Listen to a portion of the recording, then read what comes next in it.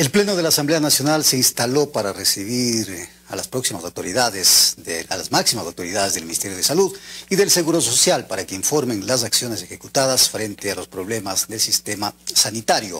Previo a la participación de los titulares de estas carteras de Estado, intervino una comisión general.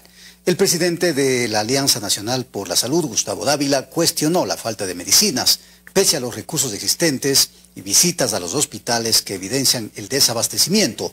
Por su parte, Verónica Chávez, representante de los médicos y profesionales desvinculados, afirmó que existe una aplicación inadecuada del presupuesto. A ello se suma el despido de 1.400 funcionarios del IES y del Ministerio de Salud.